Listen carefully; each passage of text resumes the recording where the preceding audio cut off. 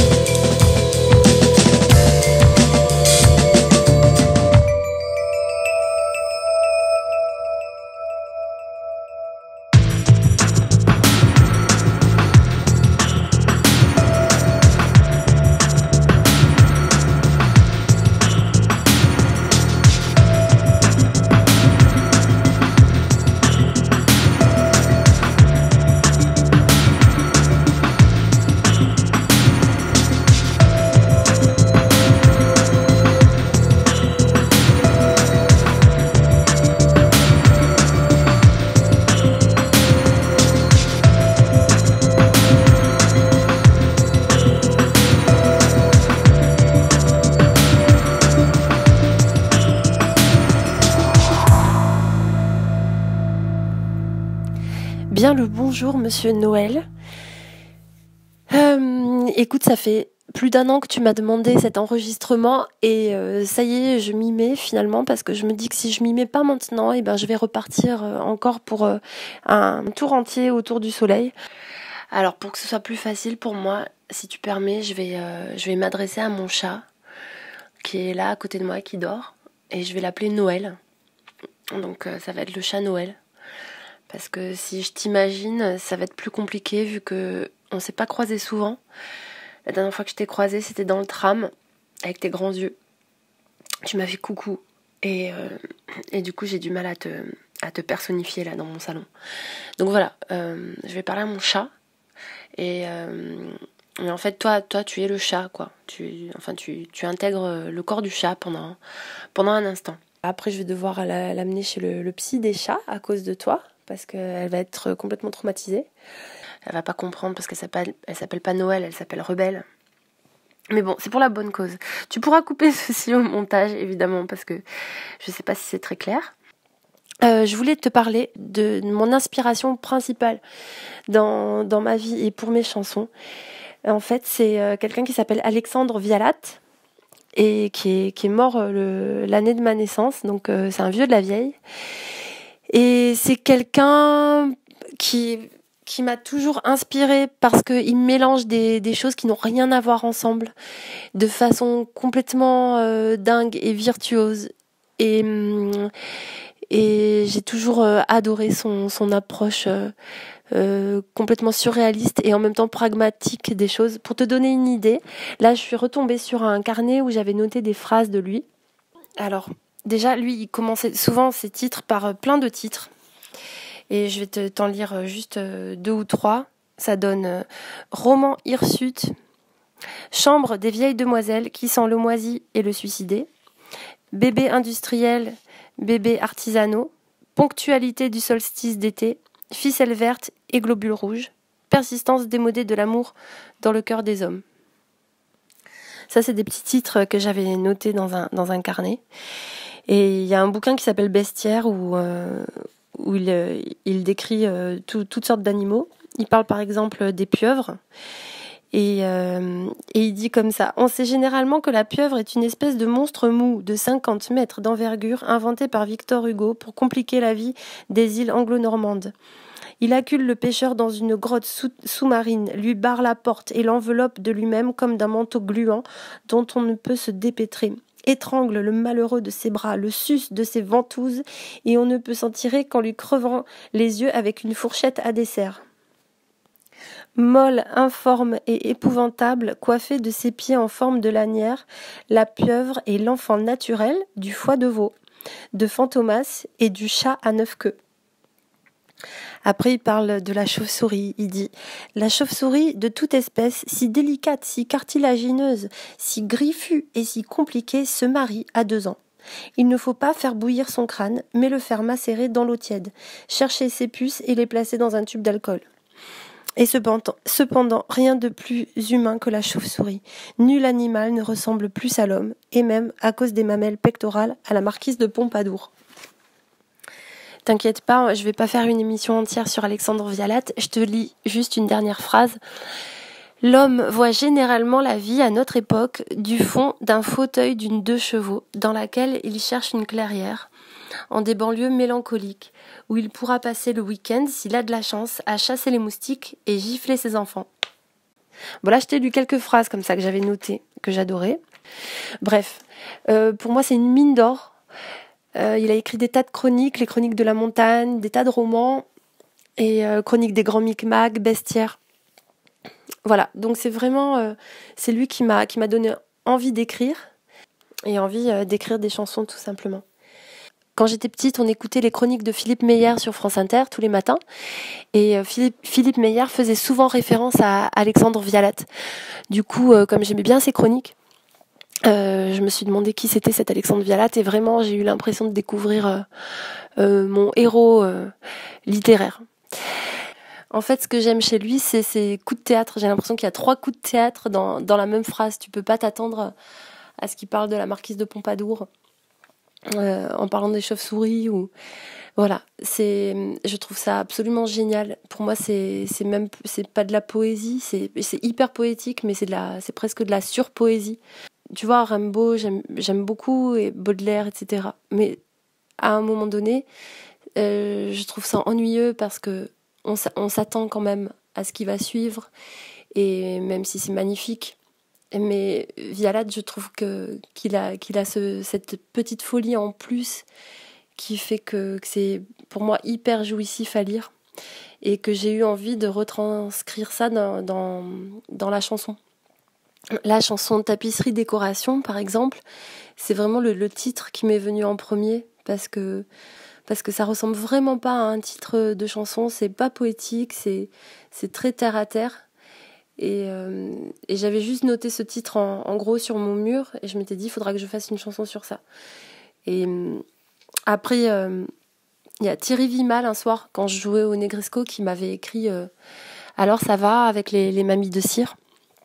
Et je m'étais dit, mais ça, ça fera un beau début de chanson avec les mamies de cire et, et ça pourrait s'appeler tapisserie décoration et ça parlerait de tous les musiciens qui, qui font tapisserie dans les hôtels. Je n'entends que des rires. Je voudrais prendre l'air et je sens le piano qui transpire. Mon collier me serre, j'ai trop chaud, je chante pour les paravents. À jouer pour des malentendants, j'aimerais autant qu'ils soient muets. Je t'en supplie, viens me chercher avant que je prenne racine et qu'on vienne m'arroser. Je sens déjà la chlorophylle, tu croyais que je chantais, que je chantais des chansons, mais non, je fais oh, oh, oh, tapisserie,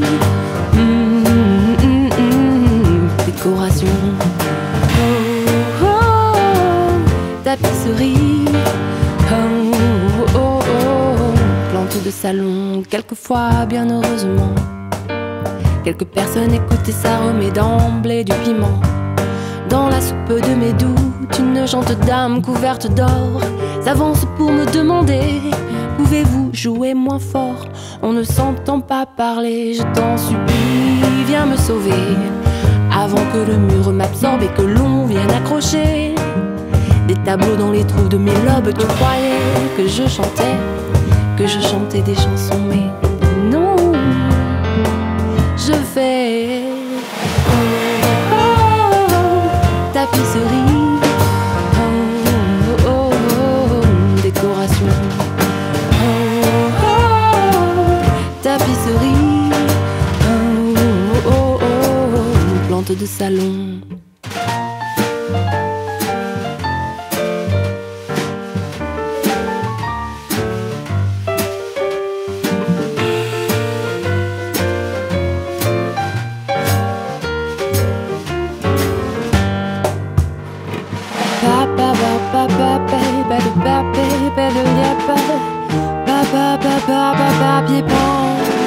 Rose, tapestry, the weather, the weather, the weather, the weather, the weather, the weather, the the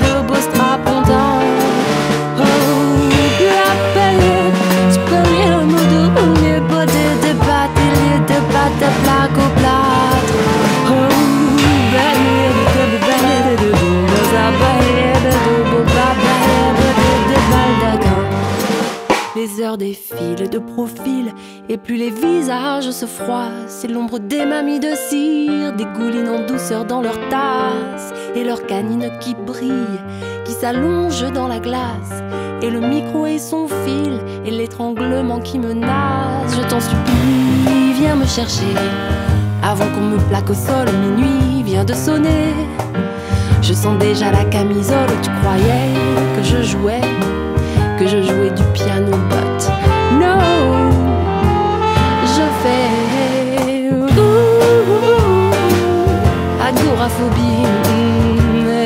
eh, convulsion.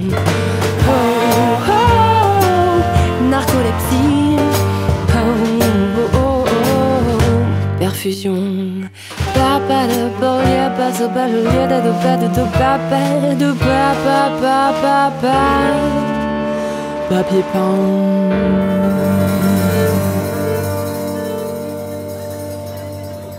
Après, au niveau de l'écriture, j'ai eu plein de, gens qui m'ont inspiré aussi, comme Vincent Baguian, qui écrit aussi pour Zazie.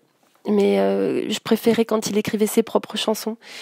C'était, très original et c'était, intéressant. Évidemment, toute petite, c'était Brassens avec euh, La chasse aux papillons ou Embrasse-les tous. C'est des chansons que j'ai commencé à, jouer quand j'ai appris euh, la guitare. Il y a eu aussi Paris Combo avec euh, les textes de Belle Duberry. J'adorais, euh, son univers aussi. Je suis sourde, je vis au pays des esgourdes, lasse, lasse, dans le silence où je me prélasse. Vraiment, je kiffais euh, ces paroles.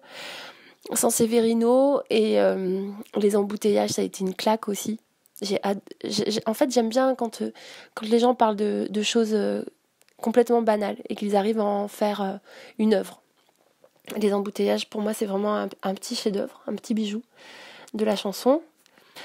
Euh, Jodorowsky qui est pas dans la chanson mais mais euh, qui est complètement dingo et et qui qui écrit euh, enfin qui faisait à l'époque des, des pièces de théâtre totalement surréalistes et qui a qui a jamais oublié d'avoir beaucoup d'autodérision Il y a plus récemment Old Laf que j'aime énormément. Et Chloé Pelgag, je sais pas si tu connais, c'est une, Canadienne. À, première écoute comme ça, on a l'impression qu'elle raconte n'importe quoi dans ses chansons. Et si, tu tends un peu plus l'oreille, tu te rends compte que c'est rempli de, petites pépites et euh, qu'elle a vraiment un, monde bien à elle. Du coup, voilà, quand je me suis mise à, écrire des chansons, je me suis toujours dit que je voulais pas écrire des chansons d'amour ou euh, ou des chansons qui parlent de Paris et de la Tour Eiffel, enfin des trucs qui avaient déjà été dits et redits, et que, j'avais envie de porter mon attention sur des petits détails et des choses euh, rigolotes ou, euh, ou insensées, ou enfin parler, parler d'autres choses un peu, parce que au, je me dis que l'art, de toute façon, c'est fait pour pour nous amener ailleurs et si c'est pour raconter, ce matin je me suis levée, j'ai bu un café et après je t'ai rencontré, euh, ça m'endort, ça m'ennuie. Voilà. Mais par contre, ce genre de chanson est, une grande source d'inspiration pour moi là pour le projet Planète Velcro. Euh, j'ai écrit deux chansons un peu parodies euh, de Céline Dion, on va dire, et Tina Arena, où je, me suis amusée à mettre tous les lieux communs et toutes les phrases les plus clichés qu'il peut, y avoir dans une chanson. Tu m'as demandé de, parler de mon parcours, euh, de mon parcours musical. Ah, écoute, je sais pas qui, qui ça peut intéresser. Je crois que c'est pour ça aussi que j'ai mis beaucoup de temps à, faire cet enregistrement parce que j'ai, je sais pas, ça m'a toujours un peu dérangé les biographies d'artistes je me dis, euh, bon, si tu t'appelles Alexandra David Neal et que tu, fais ta biographie, je comprends. Mais euh, quand tu racontes, oui, j'ai écrit cette chanson pour ci, pour ça, et puis j'ai découvert euh, les Clash et les Rolling Stones cette année-là, ouais, c'est arrivé à tout le monde, tu vois. On a tous une histoire musicale, on a tous une culture musicale. Et les musiciens, voilà, on a tous appris un instrument à tel ou tel âge. Donc je voyais pas trop l'intérêt. Mais euh, écoute, avec plaisir, c'est euh, un exercice intéressant aussi parce que avec euh, mon Alzheimer naissant, ça me fait faire un gros travail de mémoire et c'est rigolo.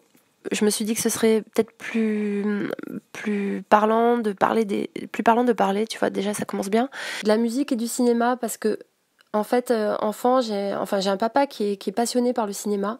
Donc euh, c'est marrant comme euh, dans ma tête, la musique a toujours été vraiment liée à des images, à, des films.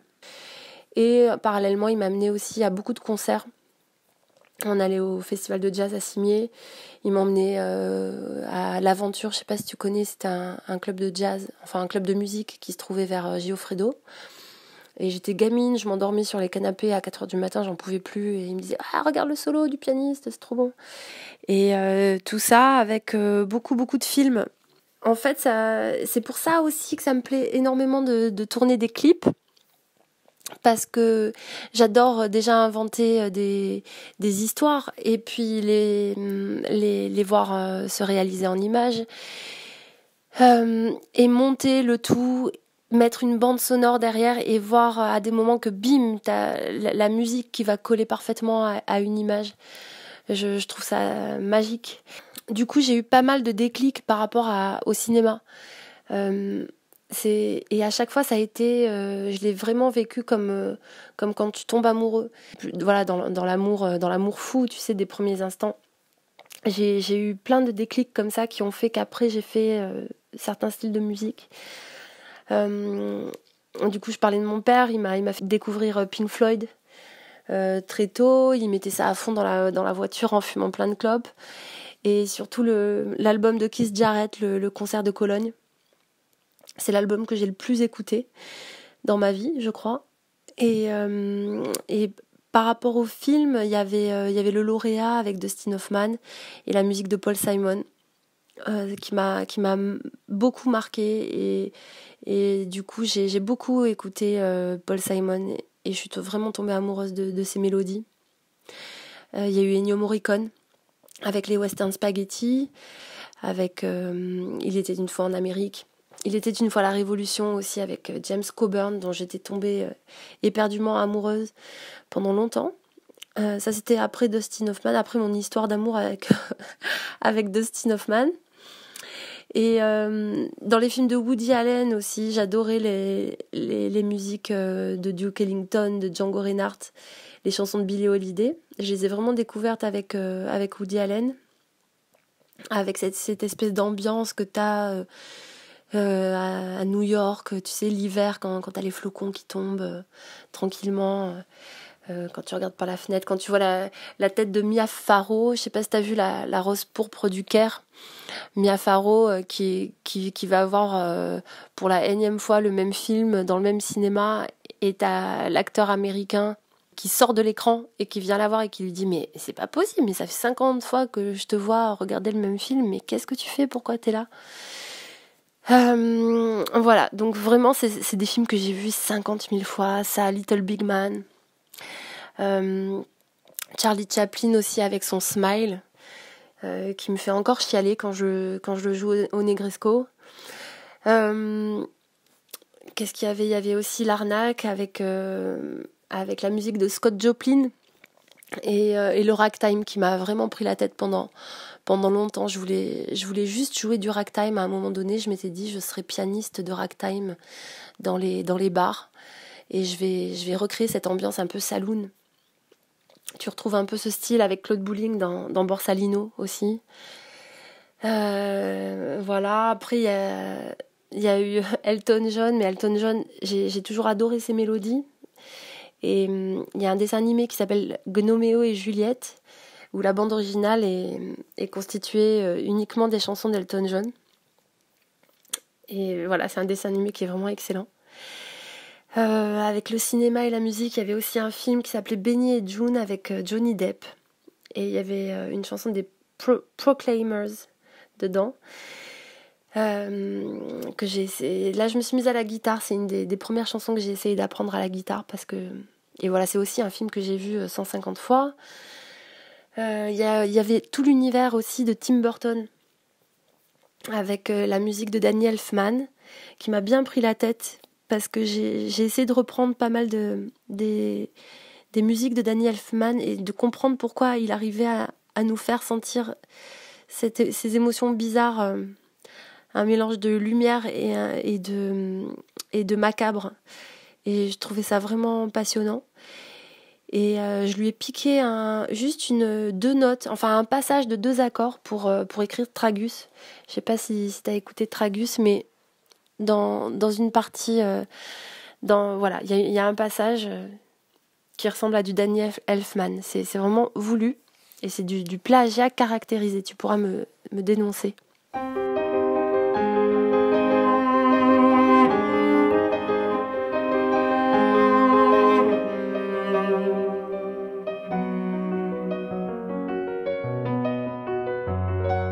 Hémoglobine sur tes lobes Ta peau est fine et le sang, goutte à goutte, répand sa chaleur sur le sol exsangue de couleur.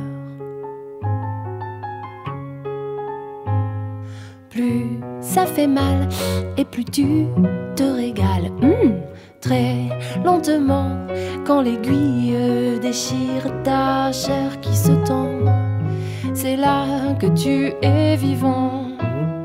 Visage passoire, cartilage est ton doigt.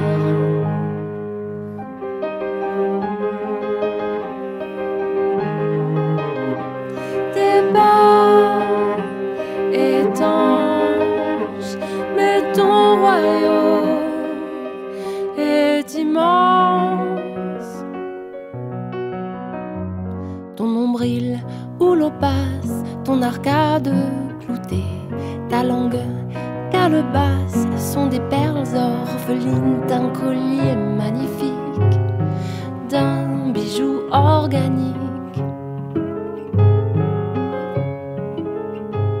De Vénus à Pluton, du tragus au téton, le trajet disparaît et la douce douleur se marie sonne ton sourire, visage écumoire,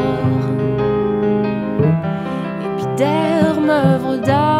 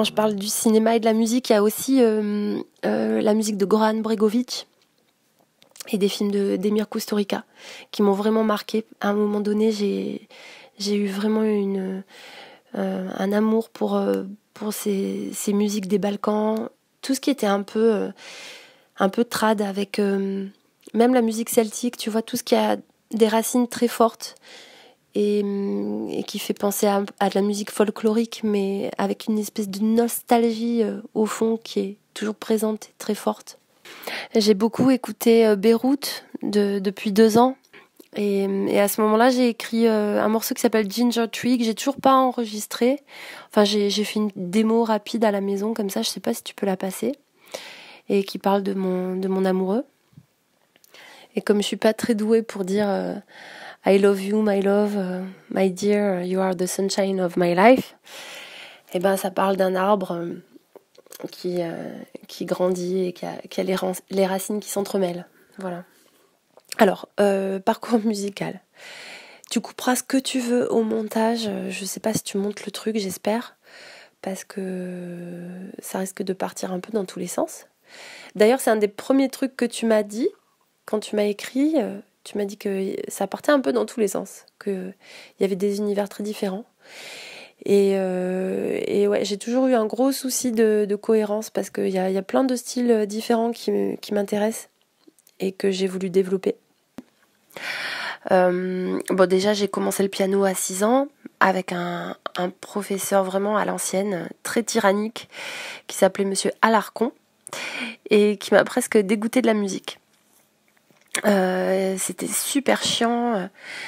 Euh, il voulait que j'apprenne l'adagio d'Albinoni. Et je sais pas si tu connais. Ah, ça y est. Noël, le chat se réveille. Euh, et euh, l'adagio d'Albinoni, je trouvais vraiment que cette musique donnait vraiment envie de mourir. Désolée, c'est un peu décousu. Mais, mais comme j'explique ça à, mon chat, au chat Noël, bah lui il s'en fout, tu vois, il n'a pas tellement la notion du temps et de la chronologie, donc euh, tout va bien. J'ai toujours voulu faire de la musique, mais avec euh, une énorme pression familiale. Et ben j'ai fait euh, un bac ES et après j'ai fait du droit. Cinq années de droit pour finir par un DESS politique de la ville et environnement. J'étais vraiment dans le royaume de l'insipide. À part, à part les cours d'histoire ou, ou de criminologie, le reste, euh, vraiment, ça me donnait euh, la nausée. Et euh, après, je suis partie au Canada en disant que j'allais passer une année sabbatique avant d'entrer à l'école de la magistrature. la bonne blague. C'est là que j'ai rencontré un groupe qui s'appelait, qui s'appelle toujours d'ailleurs les Polygesters. Ça a été mon deuxième choc musical. Un trio de jazz avec une énergie de dingue qui jouait dans la rue, qui jouait justement ces morceaux que, j'avais entendus dans les films de Woody Allen. Je suis tombée amoureuse du contrebassiste. Et là, j'ai tiré un grand trait sur ma carrière bancale de juriste, qui avait même pas commencé d'ailleurs. Et d'ailleurs, heureusement pour tout le monde, parce que je suis tellement désorganisée et tête en l'air que, que j'aurais fait des catastrophes, j'aurais envoyé en prison des, tas d'innocents et j'aurais acquitté des tonnes de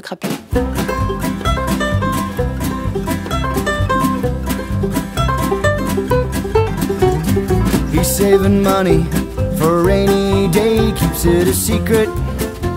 He doesn't care to see his lotus scatter hopes of what if they fall. And as he shelves the magazines today, he seems to look away. He doesn't care to see the godless girls within the cellophane. You got it made. Manjula, you mistake fun for pistol whipping robbers with a pricing gun. When he comes home, hair looking night shift gray, put on that body and smile. Ask him about his day. Costa Rica's gonna blow you away. She puts her hair up like she does every day, puts on her secret want your eyes to gaze on her, forget the cricket, what if they don't? And as she dusts the magazines today, she seems to smile away. She's taken out a book that's been forgotten since your wedding day. You got it made. Hey, Apu, you mistake ease raising seven children, screaming, My child, please. She gets the door, hair looking mommy frayed you hand her some flowers and smile? Ask her about her day. The Kama Sutra's gonna blow you away. Mais une fois arrivé euh, à Montréal, et eh ben lui il est parti à Singapour pour quatre mois. Donc je me suis retrouvée toute seule là-bas. Je connaissais personne et j'avais euh, pas un pécos euh, en poche. Mais vraiment, c'est pas un euphémisme. C'est la première fois euh, où je me suis retrouvée vraiment, vraiment à la dèche. Et j'allais manger euh, à la soupe populaire de Montréal. Et voilà, au bout d'une semaine comme ça, je leur ai piqué tous leurs sous. Ils m'avaient laissé des sous pour le loyer. Je leur ai volé leurs sous pour euh, m'acheter un clavier et aller jouer dans le métro. C'est la seule solution que j'ai trouvée pour gagner des sous. Je connaissais deux chansons, une de Nina Simone et, et une de Billie Holiday. Et, et voilà. Euh, et, j'ai eu très très peur quand j'ai joué dans le métro parce que je pensais que tout le monde allait se boucher les oreilles. Parce que ouais, je t'ai pas dit, mais euh, moi dès que j'ouvrais la bouche petite pour chanter, on, me, se bouchait les oreilles et on me disait euh, s'il te plaît par pitié ne chante pas, ne chante pas vraiment parce que c'est horrible. Ta voix est horrible et tu chantes faux, c'est insupportable. Donc euh, vraiment, quand j'ai commencé à chanter dans le métro de Montréal, je, croyais que tout le monde allait, euh, allait partir en courant ou se boucher les oreilles. Vraiment, j'avais cette image. Et comme le Canadien est de nature très sympathique et courtoise, et eh ben évidemment, il n'a pas fait ça. Le Canadien m'a encouragé, le Canadien a été euh, super agréable m'a euh, m'a donné euh, des sous pour que je m'achète à manger et que je paye mon loyer, que je rembourse euh, les polygesters que j'avais volés. et, et voilà, c'est grâce, c'est franchement c'est grâce aux Canadiens si je, je, continue à faire de la musique. Parce qu'après quand je suis rentrée à Nice, c'était pas la même chose, tu vois, il y a des gens qui qui m'ont dit toi, il faudrait que tu arrêtes la musique s'il te plaît. Mais j'ai continué, tu vois, j'ai, je me suis accrochée, j'ai persévéré. D'ailleurs, j'ai toujours un, complexe en fait quand, quand je chante. J'ai toujours peur que les gens me, enfin, j'ai toujours peur de casser les oreilles aux gens qui se disent mais c'est, insupportable. Elle chante faux et elle s'en rend même pas compte. Donc euh, voilà, parce que j'ai pas de talent, euh, de talent de naissance en fait pour la musique. J'ai juste euh, bossé à fond à un moment donné le piano et, euh, et j'ai essayé de chanter, mais voilà, toujours euh, sans prétention. Je voulais juste euh, jouer dans les, dans les hôtels et, et faire de la musique de fond, faire piano bar, tu vois, et jouer des, des standards de jazz. J'avais juste envie de faire ça. C'était mon rêve.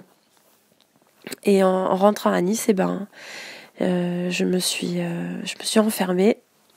Et, et quand j'ai dit ça à ma famille, ils ont, bien rigolé. Ils ont dit oh là là, ma pauvre, mais aucun hôtel ne va, aucun hôtel ne, t'embauchera jamais avec ta voix. Et je crois que ça m'a donné un peu la niaque. Voilà, donc euh, je me suis euh, je me suis mis des coups de pied aux fesses et j'ai bossé. Voilà, et je me suis dit tiens, je vais faire des chansons moi aussi, j'ai plein de choses à raconter, mais surtout je ferai jamais des chansons d'amour parce que c'est trop euh, neuneux et je vais raconter d'autres histoires. Je sais pas si on arrive à suivre. Je vais me reprendre un café, je reviens.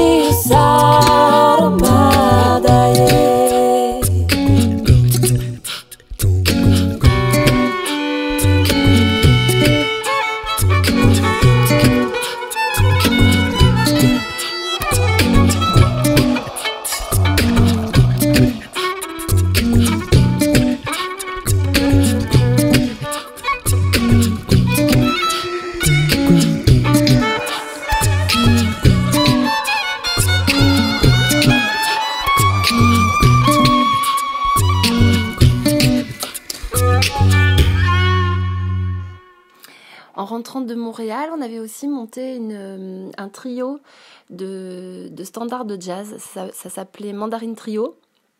Et c'était assez rigolo. Euh, c'était avec Merta Widler à la contrebasse et Ophélie Laroche à la batterie.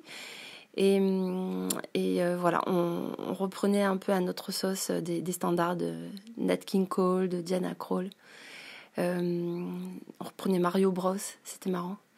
Et Merta, c'est quelqu'un qui m'a toujours soutenue tout le long de ces années et que j'aime énormément en tant que Camille et en tant qu'artiste aussi. Et aujourd'hui, elle s'est consacrée uniquement, euh, enfin surtout à la peinture.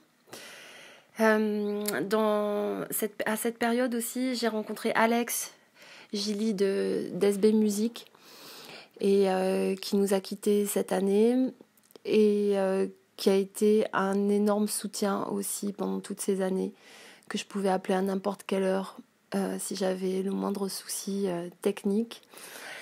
Et, euh, et qui m'a qui m'a toujours dit j'aime beaucoup ce que tu fais, j'aime beaucoup ce que tu fais, qui était ça me faisait vraiment plaisir euh, de discuter avec lui à chaque fois que j'allais euh, chez SB Musique, qui était quelqu'un d'assez discret mais qui était qui a toujours été un soutien pour plein plein de musiciens à Nice. Et, et je me souviens, il m'avait il avait insisté pour m'acheter mon, mon album. J'avais dit mais non mais prends-le. Moi il me faisait toujours plein de cadeaux, il me laissait un câble comme ça en plus à chaque fois quand je prenais une guitare chez lui ou quoi. Et euh, il avait dit non, non, non, non, je le paye, euh, c'est du boulot, c'est normal. Enfin bref, on s'en fout, mais c'était euh, une personne vraiment à part dans ce milieu. Et on a été vraiment beaucoup de, musiciens à être vraiment affectés par son départ. Voilà. Alors une grosse claque musicale très jeune, ça a été Kiss Jarrett avec le concert de Cologne. C'est un des albums que j'ai le plus écouté. Euh, je sais que Kiss Jarrett, lui, il en a marre qu'on lui rappelle euh, cet album et euh, qu'on lui parle pas d'autre chose. Mais pour moi, ce jour-là, il a vraiment été touché par la grâce. La deuxième grosse claque, ça a été mon héros absolu, c'est Bobby McFerrin, qui m'a fait saigner du nez quand j'ai découvert son album, euh, je crois que c'est The Voice. The Voice, c'est une émission à la con, mais je crois que c'est The Voice. En fait, il fait tout un album a cappella. Et il est complètement dingue. Et il allie euh, la virtuosité musicale avec, euh, avec une autodérision impressionnante. Parce que j'aime beaucoup les artistes qui font ça, qui se prennent pas au sérieux et qui, qui injectent de l'humour dans, leur art. J'ai toujours eu du mal d'ailleurs avec euh, les artistes qui, qui, se prennent trop au sérieux. Je trouve ça cool de, de faire sérieusement des, de l'art, de la musique ou ce que tu veux, de mettre tout ton cœur dans, dans un trait de crayon ou dans une chute euh, débile bien placée. Mais, euh, mais je trouve pas ça très intéressant de, de se prendre soi-même au sérieux. Et puis de toute façon, dans ce métier, tu, te prends pas au sérieux longtemps parce que tu t'en prends tellement plein la gueule dans tous les sens que à un moment tu es obligé de te désidentifier un peu de, de ce que tu fais. Tu vois, c'est un peu comme, euh, comme si tu prépares un, un plat de pâtes, quoi. Tu vois, moi, il y a plein de gens qui sont venus me voir qui m'ont dit, bah, faut que tu arrêtes la musique, ou c'est nul, ou c'est bof. Mais tu vois, c'est comme si j'ai préparé un, un bon plat de pâtes, tu vois, des pâtes arabiata j'ai préparé ça, je suis trop contente de, t'offrir ça. Et puis toi, tu trouves ça, bah, t'es trop piquant ou pas assez piquant, ou, euh, ou les pâtes, tu t'aimes pas comme elles sont cuites. Bah, c'est pas grave, tu vois. Euh, euh c'est pas grave du tout. Moi, j'ai, je, je, je, suis pas les pâtes, je suis pas la sauce, je suis pas le blé contenu dans les pâtes. Moi, j'ai juste préparé les pâtes et, et si t'en veux pas, ben, je, mange, je finirai toute la casserole toute seule, c'est pas grave. Et puis, et puis je t'aime bien en plus, ça, n'a rien à voir. C'est, des choses très différentes.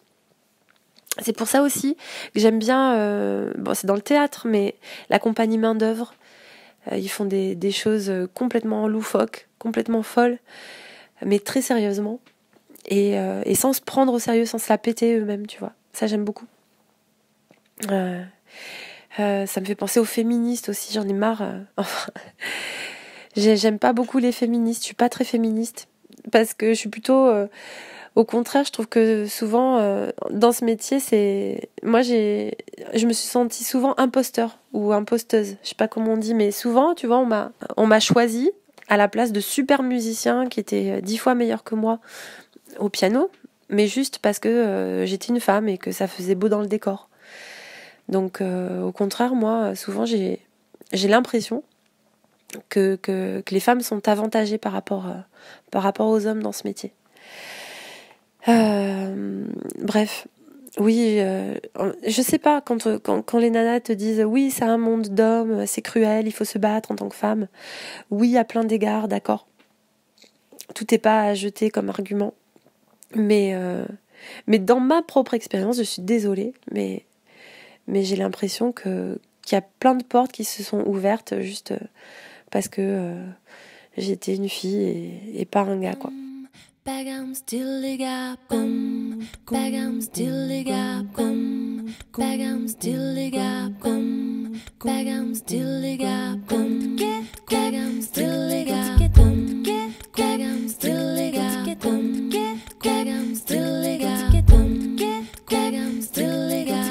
Voyageur est allé jusqu'au centre du monde trouver l'arbre de vie qui détient la clé des secondes, la clé des secondes. Il lui a demandé, il lui a posé toutes les questions, puis il s'est posé au pied de son tronc, au pied de son tronc.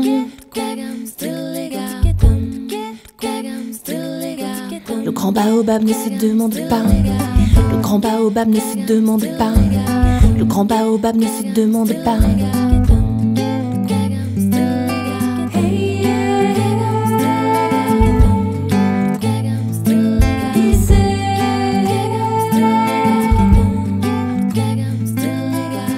Voyageur a voulu fouler la terre, brûler, demander au guerrier Massage s'il détient le secret, s'il détient le secret.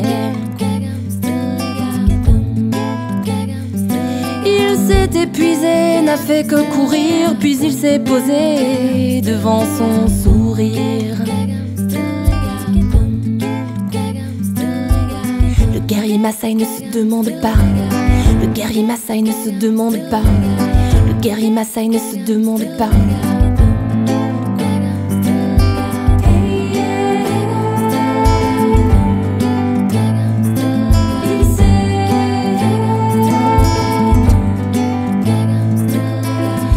Voyageur est allé jusqu'au plus haut sommet trouver les étoiles pour leur parler, pour leur parler. Il a pleuré sur le sort de la terre, puis il s'est posé devant la lumière. La constellation ne se demande pas, la constellation ne se demande pas, la constellation ne se demande pas.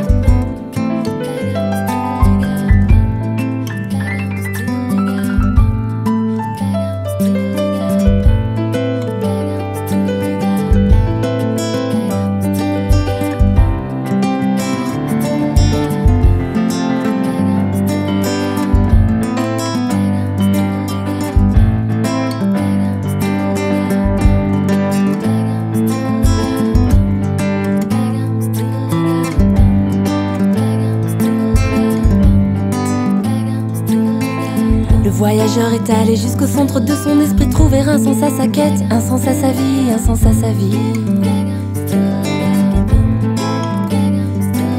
Il a bien creusé, il n'a rien trouvé que son cœur ouvert, le battement de la terre.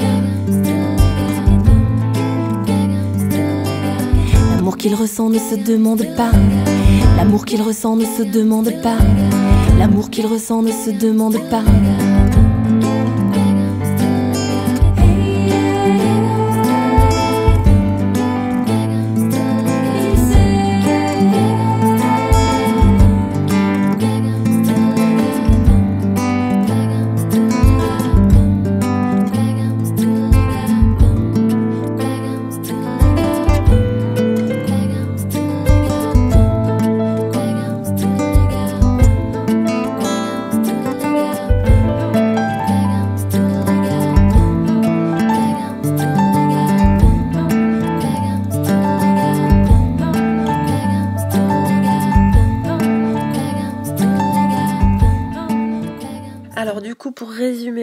Peu aussi, euh, pour aller un peu plus vite, j'ai intégré une batucada pendant trois ans. Euh, et je me suis régalée à jouer de la, caisse claire. Ça m'a bien aidé d'ailleurs pour euh, le sens du rythme, qui n'était pas mon fort. Après, j'ai rencontré mon acolyte préféré, qui s'appelle Stéphane Seban, Bébert, qui m'a demandé de venir jouer pour la troupe du Théâtre des Oiseaux pour le Falabrac Cabaret. Et on a joué les pièces de Noël Perna, euh, enfin qu'elle mettait en scène. J'ai adoré cette période de cabaret, euh, qui était plus du côté animation que du côté musical. Mais j'adore euh, voir les gens éclater de rire. et ça a été une belle expérience. J'ai joué dans beaucoup d'hôtels, de restos, de pubs où les gens se faisaient un plaisir de parler très fort et de surtout pas écouter la musique. D'où euh, la chanson, la dernière chanson Tapisserie Décoration. Après, honnêtement, au fond, ça m'a jamais vraiment dérangé. J'ai toujours trouvé que j'étais là pour créer des tapis sonores adéquates à, à leur bien-être du moment, tu vois, pour créer euh, une belle ambiance et pour leur permettre euh, de se parler tranquillement entre amis. Franchement, ça m'a jamais dérangé d'être en fond sonore, sauf quand je joue vraiment mes chansons, mais ce que je m'abstiens de faire, du coup, euh, je joue plutôt des reprises dans ces cas-là. Et Stéphane Weber, il m'a proposé de jouer aussi dans un groupe de chansons humoristiques, les Squatters. Et au départ, je m'étais dit que j'allais faire ça juste quelques mois et qu'au fond, c'était pas vraiment mon truc. Et voilà, là, ça fait bientôt 10-15 ans, je sais plus, que je joue avec eux. Et euh, je les adore. Dès que je vois leur tête, euh, j'ai la, la, loutre rigolote euh, qui sommeille en moi, qui s'anime. Je sais pas vraiment pourquoi. Mais voilà, ils aiment, ils aiment beaucoup la, la, connerie eux aussi. Ils ont, des, ils ont des prédispositions de fou pour ça, vraiment. On a joué à Avignon, on a joué en Suède et vraiment partout dans la région avec ce spectacle, ici. Et euh, j'ai toujours eu une frustration par rapport à ce spectacle parce que je trouve qu'il mérite vraiment d'être euh, vécu, vu. Je crois que les gens qui ne l'ont pas vu doivent avoir l'image d'un truc euh, très très con. Mais ce qu'ils savent pas, c'est que c'est encore pire que ça. C'est encore plus con qu'ils imaginent. Du coup, ça devient, ça devient excellent. Enfin, moi, je trouve que, que, que c'est. enfin, je le trouve très chouette. Euh, un peu, si tu veux, un peu comme les nuls et la mouche qui pète ou les moucrènes à la glaviouse, tu vois, quand ça touche vraiment le fond de la piscine de la connerie et que ça devient presque du coup de l'intelligence. Et j'ai une grande reconnaissance aussi pour eux parce que c'est les seuls qui, pendant toutes ces années, ont supporté mes retards permanents. Plus tard, j'ai découvert la musique de Tori Amos. Et là, j'ai eu un, une révélation aussi, un gros coup de foudre j'ai j'adorais euh, ces mélodies aussi. À chaque fois, je parle de mélodies, mais pour moi, c'est c'est vraiment le plus important. Les premiers qui m'ont étonné avec leurs mélodies, c'était les Beatles, mais mais là, Tori Amos avait aussi euh, une patte vraiment particulière. Il y a une chanson que j'adore d'elle qui s'appelle Mr. Zebra et qui résume bien cette façon euh, cette façon dingue de placer les notes. Je trouve que ce qui ce qui est intéressant, c'est quand ça part presque dissonant, mais pas vraiment. Et ça, pour moi, ça rejoint Alexandre Vialat dans, dans les mots. C'est, encore cette notion de surprise à, à chaque paragraphe ou à chaque, chaque mesure pour la musique. Hello, Mr. Zebra, can I have your sweater? Cause it's cold, cold, cold in my hole, hole, hole. Rider to young streak nine. Sometimes she's a friend of mine without jagging, we'll pull that trouble of mine. Mais bon, ne passe pas ça s'il te plaît. C'était vraiment pour essayer de me rappeler de la chanson. Euh, au même moment, j'ai découvert Fiona Apple aussi. Même truc. J'ai adoré. Euh, adoré. Elle, c'est vraiment la chaleur dans la voix aussi, et puis ses compos. Et Faced, Faced qui est euh, qui est encore hors catégorie et au même moment, on a on travaillait sur un duo qui s'appelait Plue and Me avec euh, Raphaël Zweifel qui est violoncelliste. Du coup, on a on a joué ce morceau ensemble euh, en duo piano violoncelle. Alors j'ai juste un petit enregistrement qui était passé à la radio. Je sais pas si tu, si tu peux le repasser ici. On avait fait un petit live. Et Raphaël Zweifel est aussi euh, la personne chez qui j'ai enregistré les maquettes euh, des premières chansons de, de Planète Velcro. Euh, voilà, c'est quelqu'un de très talentueux qui joue de plein d'instruments différents et qui, qui m'a permis d'arranger un petit peu les morceaux. Du coup, je t'ai envoyé Femme for Your Rights et aussi Hurricane Birth. Je sais pas si ça t'intéresse de les mettre. Et je les ai enregistrés au bocal chez Benoît Serra, qui, qui a mis ses, sa petite touche euh, électro. Euh, voilà, et qui est, qui est un gars hyper talentueux aussi.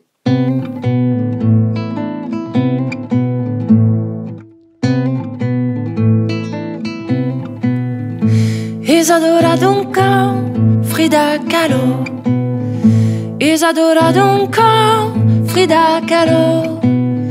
Wangari Şirin bam demir bay Maria Izquierdo Emily Dickinson Helen Keller. Emily Dickinson Ella Baker. Marie Curie Slodowska Maria Linkin Pavita Melia Bloomer. Madame Ritananda Maria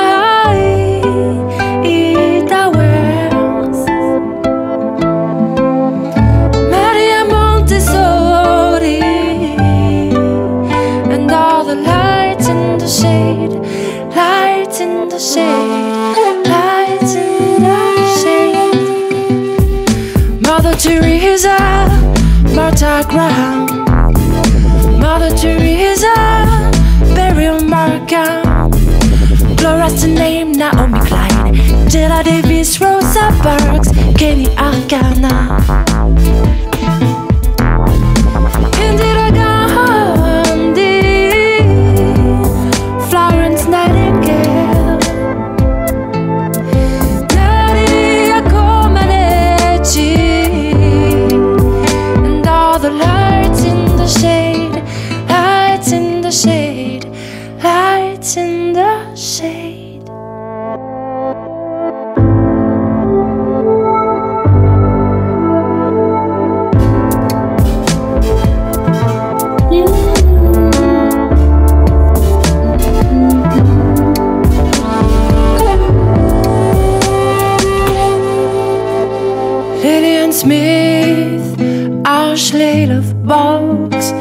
Billie Holiday,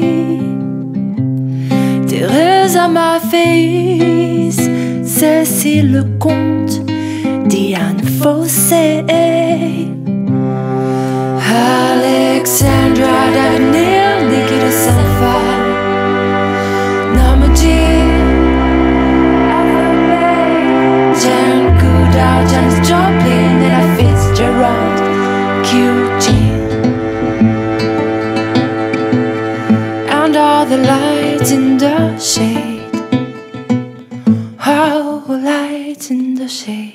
À un moment donné, j'ai vécu euh, un, petit moment à Barcelone. J'ai joué dans la rue là-bas et euh, j'ai joué dans des, dans des petits bars. Et j'ai découvert des artistes comme Lassa de Sella ou euh, Oros de Brujo ou Bouika. Et euh, Bouika, si je, si je pouvais me faire greffer une voix, et ben ce serait sa voix à elle. Je sais pas si tu peux mettre un petit extrait de Bouika, mais c'est il y a tellement de chaleur qui se dégage dès qu'elle ouvre la bouche, c'est super beau.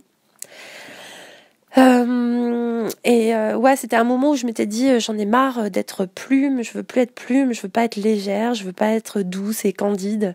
Je veux, je, mon vrai nom c'est Linda Ruiz et je suis espagnole et je veux, je veux exprimer mes racines espagnoles. Et, euh, et du coup, dans, tout ce qui est flamenco, t'as as, l'impression qu'on parle plus avec les tripes, que c'est que, que c'est quelque chose de, euh, plus profond. Et, euh, et, bon voilà, et c'est là que qu'on a créé Lunatic Souk, le groupe Lunatic Souk avec Vincent Harroy. Euh, on continue un petit peu à jouer pour les estivales, mais bon c'est invendable parce qu'on est 8 sur scène, on a une danseuse et tout. Mais j'adore jouer avec ce groupe, c'est que des gens sympas, que des jolis humains dedans. J'ai été deux fois en Algérie, à Beniabès, grâce euh, au Nomade Café à Marseille qui organisait comme ça des échanges avec les, les musiciens Gnawa là-bas. Et on s'est retrouvés dans le désert avec euh, Cédric Loher et Eric Bruno pour, euh, pour une résidence. Et ça m'a donné vraiment envie de, de développer la musique orientale et, de chanter en arabe. Du coup, dans, dans Lunatic Souk, j'avais vraiment envie qu'il y ait, qu y ait cette, ce mélange oriental et espagnol. J'ai eu quelques commandes du théâtre. J'aime beaucoup faire ça, qu'on me demande une chanson sur un sujet bien précis, avec un univers bien précis. J'aime bien avoir des contraintes. Et ça a été le cas pour euh, l'Odyssée de l'eau. C'est... Euh... Oh mince, il faut que je retrouve son prénom. Euh... Leila Paris et Michael d'Avignon. Leila, c'est ça. Et hum, c'est la compagnie La Main Verte. En fait, ça s'appelle pas l'Odyssée de l'eau, ça s'appelle l'Odyssée de l'or bleu, tu vois. J'allais dire encore une bêtise. Il y a eu aussi une pièce de Brigitte Tricot qui s'appelait Un homme à tout prix, qui a été reprise par une autre compagnie pour Avignon. Et il m'avait demandé aussi d'écrire des chansons. Voilà, et j'ai écrit Roméo, qu'on a repris euh, pour les squatteurs.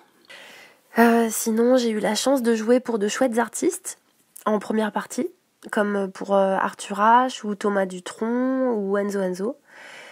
à chaque fois, je voulais pas aller leur parler parce que j'avais peur que ça fasse groupie ou, ou j'avais peur de les déranger. Et maintenant, je le regrette parce que je suis sûre que ça aurait été cool d'aller leur parler. D'ailleurs, pour euh, la première partie de Cœur de Pirate, j'ai joué devant euh, plus de 7000 personnes, je crois. Et euh, les gens attendaient leur star favorite. Il n'y a eu aucune connexion avec le public. On m'a laissé un tout petit bout de scène pour jouer. C'était pauvre, tu vois, c'était pauvre en termes de partage ou quoi que ce soit.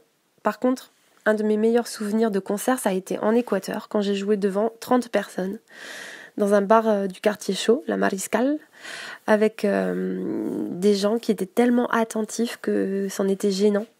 Avec, euh, tu vois, une belle présence dense et chaleureuse, avec des, des merci et des embrassades après le concert. Je me rappelle, j'avais amené 50 CD pour une tournée de 5 concerts là-bas.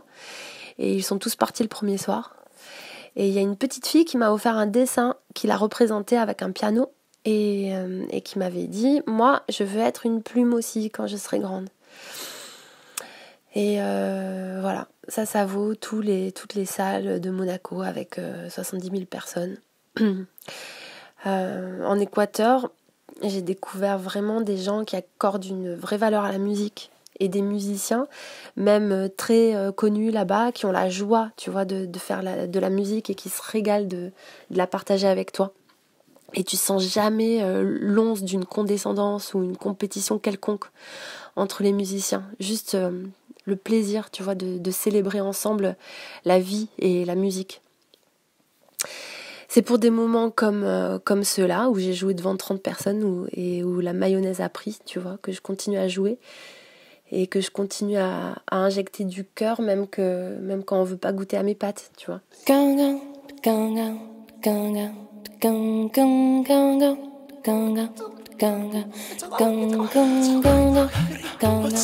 Gonga, gonga, gonga, gonga, gonga, gonga, gonga, gonga, gonga, On peut voir au loin se noyer les sirènes, notre indifférence leur fait de la peine. À peine un rêve de temps en temps, c'est tout ce qu'on accorde aux dryades, dragons. À tourner comme ça le dos par maladresse, nous on se disperse et eux disparaissent. Y a plus grand monde à Brocéliande.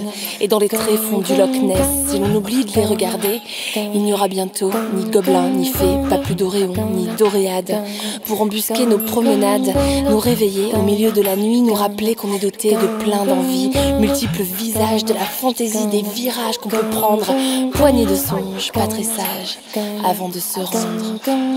Ils sont en voie de déraison, d'abdication, de dilution. Menacez-les, menacez-les d'apparition.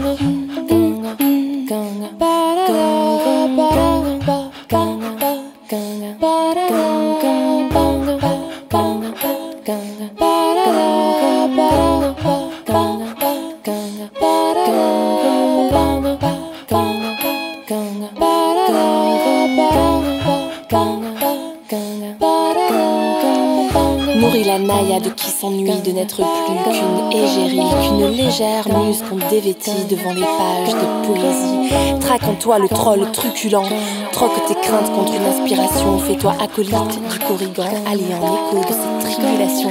Dans le sillage d'un cumulonimbus, saluer solennellement une licorne camouflée en nuage, et là est l'astuce. Toujours la caresser dans le sens de la corne, toujours la caresser dans le sens de la corne.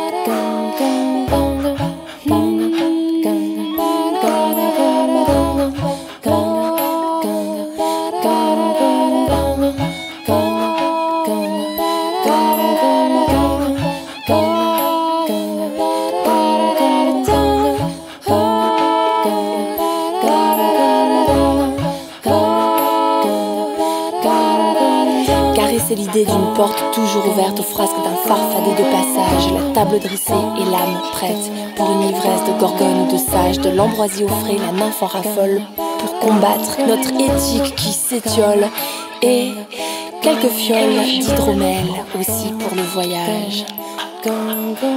C'est pour ses ailes, pour l'énergie du décollage, pour l'énergie du décollage, pour l'énergie du décollage.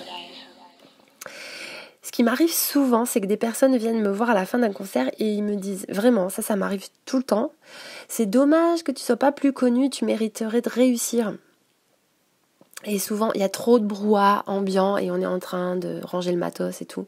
Donc, j'ai pas souvent le temps de leur répondre euh, la vraie réponse. La vraie réponse, c'est mais j'ai réussi, tu vois. J'ai réussi à vivre de la musique, ce qui était pour moi impensable au départ parce que, euh, voilà, pas, pas de talent particulier pour la musique et je chantais faux et c'était juste un rêve. Donc, je, je vis de la musique et tous les, tous les jours, je, je dis merci, tu vois. Et en plus, j'ai réussi à donner envie à une petite fille en Équateur de jouer de la musique. Attends, basta. J'ai tout le reste, c'est de la chantilly avec des, pépites euh, colorées euh, sur le gâteau, mais voilà, moi j'ai l'impression d'avoir accompli un truc. Il y a une gamine qui a en Équateur, en Amérique du Sud, qui a envie de faire de la musique parce qu'elle m'a vu à un concert. Euh, en France, ici, c'est vachement plus compliqué on est beaucoup plus dans, dans la tête, on est des cérébraux et, et on est des casse-couilles franchement. La, gentillesse, la, la bienveillance, ici c'est pas vraiment des valeurs qui ont la cote, sur la côte d'Azur. C'est pour ça que ça me touche particulièrement énormément quand, quand les gens prennent le temps de t'encourager, de t'envoyer un commentaire sur une chanson, qui ont vraiment écouté. Euh, je voulais dire merci, en profiter ici pour dire merci à Thierry Vimal, à Guy Talon, ou à toi aussi, Noël, euh, pour ça, pour, euh, pour ces encouragements. Et euh, souvent, c'est des encouragements très inspirés aussi. On voit que vous, vous aimez l'écriture et que vous la maniez finement.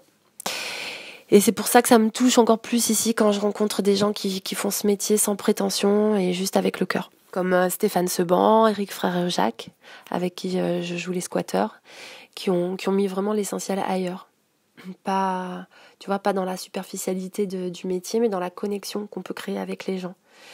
Dans, dans l'amour, tu vois, l'amour. C'est con quand on dit ce mot, ici on a presque honte. Je sais pas si c'est par, euh, par pudeur ou, ou on n'a pas le temps de s'attarder sur ça. Je sais pas, mais c'est pourtant le principal, tu vois, c'est ça qu'on véhicule au final. À part ça, je suis très très laborieuse pour euh, écrire euh, mes chansons, des fois, je peux passer euh, vraiment deux mois ou trois mois sur une chanson ou sur un refrain. J'ai euh, mon dictaphone et mon ordi rempli de, de bouts de refrains, de ponts, d'intro, remaniés, changés dans plein de styles différents, dans plein de langues différentes. Euh, et je m'y retrouve pas toujours, toujours. Euh, voilà, je suis pas du genre. Il y a t'as, des gens qui te racontent que bah les chansons leur viennent comme ça, en claquant des doigts. Il y a tout qui sort, la musique, les paroles, bim bim, en une journée. Et bah moi, ça me prend des plombes et des plombes. J'ai eu un gros coup de cœur à un moment donné aussi pour Tom Waits et, et son style bien particulier qui me faisait aussi penser à des moments au ragtime, à quelque chose comme ça de de, de profond aussi avec le piano. Et euh, et j'ai écrit ma petite chanson euh, Tom Waits, en fait. Là, je suis en train de t'avouer tous les plagiats, tu vois, mais que j'ai fait. Ça s'appelle Unuseful is Beautiful. Et là, c'est vraiment, euh, je voulais faire une chanson à la Tom Waits. Mais tu vois, c'est pour ça aussi que je, je me dis pas artiste. Euh, ça me, ça me gêne quand, quand on, on me dit que je suis artiste, parce que pour moi, un artiste, c'est vraiment quelqu'un qui a un style propre et a, qu'il a senti toute sa vie et qu'il a développé toute sa vie que ce soit dans, dans la peinture ou dans la musique ou euh, peu importe. Mais du coup, moi, je me suis jamais, j'ai jamais réussi à, à trouver vraiment ma voix, tu vois, un truc vraiment cohérent dans lequel euh, je, je, me sens vraiment totalement moi. Et, hum, et voilà, du coup, et comme j'ai piqué plein d'idées à plein de gens, tu vois, il y a beaucoup de Tom Waits, il y a beaucoup de, Beatles, il y a beaucoup de Faced, dans mes chansons en anglais et dans mes chansons en français. Pour la musique, la musique est secondaire quand j'écris en français. Donc euh, euh, là, bah, j'ai tout piqué à Alexandre Vialat. Aucune phrase, mais en tout cas dans l'esprit, c'est il m'a mais de toute façon il a nourri totalement ma vision de l'écriture. Euh, et, et j'ai pas l'impression que c'est un plagiat. Moi, j'ai l'impression que, je continue euh, son travail euh, de façon différente et à ma manière. Mais voilà, c'est pour ça que je me sens pas artiste, mais que je me sens artisan de, de la musique et que j'ai toujours dit ça. Je suis artisan de la musique. Moi, je, je rafistole des bouts de papier ensemble et je fais des patchwork et, et j'essaye que de faire en sorte que ça, ça ait, euh, ce soit joli, mais mais euh, mais voilà, j'ai pas l'impression d'avoir un message à, à passer, à transmettre ou euh, ou euh, euh, je sais pas si c'est clair. Je vais me reprendre un café. Et Planète Velcro, en fait, ça fait deux ans maintenant que je, que je bosse dessus. Donc là, c'est uniquement des chansons en français. Et en fait, j'ai eu cette idée parce que j'ai accompagné un, un, super chanteur pour moi qui, est, qui est vraiment un monument de la chanson méconnu, notoirement méconnu, qui s'appelle Nicolas Carré. Et j'ai eu le, plaisir de l'accompagner au piano pendant les soirées chansons les samedis soirs. Attends, une petite parenthèse quand même sur ce gars. J'ai été vraiment frappée par euh, son interprétation des, des, chansons. Au départ, quand on m'a proposé ce répertoire, je, me, je trouvais ça un peu poussiéreux, un peu ennuyeux. Et, hum, et dès la première soirée, j'ai été vraiment captivée par... Euh, par euh, la, la, magie qu'il a réussi à, à créer le temps des soirées chansons. Enfin, c'est assez indicible, donc je peux pas le décrire là. Faudrait venir à une soirée pour s'en rendre compte. Mais pour moi, c'est une espèce de monument. Quand je pense à lui, je pense à, à, une grande avenue où tu as, plein de, grands magasins et, et, et tu passes par une petite ruelle derrière. Et tout d'un coup, tu tombes sur un, un magnifique édifice. Et tu te dis, mais je suis passée 50 fois ici et j'avais pas vu qu'il y avait, euh, qu'il y avait un truc euh, complètement dingue. Hein. Tu vois, imagine un immeuble de Gaudi derrière qui était caché et tu restes devant, planté. Et euh, bref, lors de ces soirées chansons, de temps en temps, il me demandait de, chanter une ou deux, de, une ou deux chansons à moi. Et il y avait Siro qui, accompagnait le tout à la guitare. Ciro Torres et qui me disait ouais j'adore euh, cette chanson et puis celle-là et puis celle-là et du coup le fait d'entendre des chansons euh, en français des chansons de Boris Vian des chansons de de Brel euh, de Bourville de Nougaro ça m'a redonné un peu le goût de, la chanson française. Et je me suis remise à, écrire en français. J'ai été encouragée aussi beaucoup par Siro et par Nicolas. Et aussi par euh, Thierry Vimal, qui est un, écrivain, euh, qui est un écrivain euh, niçois et que j'adore, qui m'a écrit une lettre un, soir en, me disant qu'il écoutait, qu'il qu'il avait découvert mes chansons et que ça lui a inspiré beaucoup de choses et que ça l'avait aidé dans des moments difficiles. Et tous ces encouragements ont fait que, que je me suis remise à écrire en français. Et je me suis dit, mais qu'est-ce que je veux vraiment, vraiment faire? Et je me suis rendu compte que ce, qui, ce que j'avais envie de faire, c'était, ça. C'était, de pousser loin la folie et la connerie. Euh, très très très loin jusqu'à ce que ça en devienne euh, beau. je ne sais pas si c'est possible. Mais en tout cas, c'est, euh, pour ça que, que, je m'appelle plus Plume aussi pour ces chansons. Je voulais un nom qui soit déjà assez idiot de base pour qu'on capte que, que c'est pas de la chanson euh, réaliste ou sérieuse. Donc Planète Velcro, j'imagine qu'on le capte d'entrée, mais peut-être pas. Et là, pour une fois, je me dis, bah tant pis pour la musique. Moi, j'ai vraiment du mal à, euh, à écrire en français et, et, à faire en même temps une musique qui soit, qui soit intéressante. Donc la musique est vraiment là pour, euh, pour, pour habiller le, les textes, mais c'est vraiment pas la musique qui prime. Du coup, j'ai demandé à, à Siro de, m'accompagner sur ces morceaux parce que ça avait l'air d'être euh, le musicien autour de moi qui était le plus motivé pour l'instant pour, euh, pour ses chansons. Et, à Manon Giuliani. je les aime pour leur humanité. C'est vraiment deux, deux rayons de soleil. C'est des gens, des gens de cœur. Et pour moi aujourd'hui, c'est vraiment le principal. Même si ce sont de bons musiciens aussi, ce qui ne gâche rien. Donc voilà, le projet s'appelle Planète Velcro. Et euh, je crois que c'est la première fois vraiment que j'écris des chansons sans me demander euh, si euh, les gens vont aimer, si ça peut marcher, tout ça. De toute façon, là, j'ai 40 ans, donc, donc si ça avait dû marcher, entre guillemets, ça, ça aurait, la sauce aurait pris avant, tu vois. Donc maintenant, j'essaie de me faire plaisir et, et de faire quelque chose qui soit en cohérence avec, euh, avec moi-même, c'est-à-dire euh, incohérent, tu vois? Et, on verra bien. En tout cas, moi, je me régale à, à sortir euh, toutes, les, toutes les racines farfelues qui poussent dans le jardin.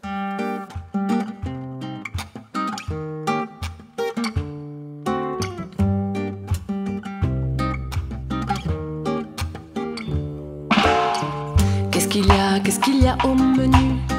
Marilou en marinade et amaury au bain-marie. Qu'est-ce qu'il y a, qu'est-ce qu'il y a à manger? Il y a Jade en a des Jérémy en gelée. Qu'est-ce qu'il y a, qu'est-ce qu'il y a de prévu? Il y a la cervelle de Christelle et Jean-Phi en faux filet. Qu'est-ce qu'il y a, qu'est-ce qu'il y a dans le frigo? Les côtes de Charlotte et le foie de Fredo.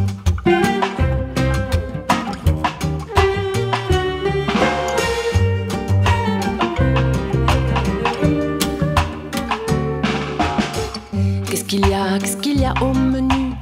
Une julienne de Juliette, un rôti de Stéphanie. Qu'est-ce qu'il y a, qu'est-ce qu'il y a dans le frigo? Un Antoine sous cellophane, Anthony aux antibiotiques. Qu'est-ce qu'il y a, qu'est-ce qu'il y a de prévu? Les ailes d'Isabelle et le gras de Patricia. Qu'est-ce qu'on mange, qu'est-ce qu'on mange ce soir? Natacha en béchamel, les rissolés de Cécilia.